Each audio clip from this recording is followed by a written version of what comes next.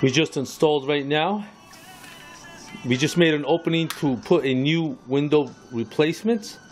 These are the uh, Andersen type, and as you notice here, what we've done is we've installed ice and water on the bottom, so it protects the wood. So you notice how sometimes the wood sill gets wet and it gets damp and damaged. This protects it. So this is a, a layer of protection that we put on your window on the bottom. And then right here, as you notice, we just put some uh, Tyvek to give it extra protection. All along the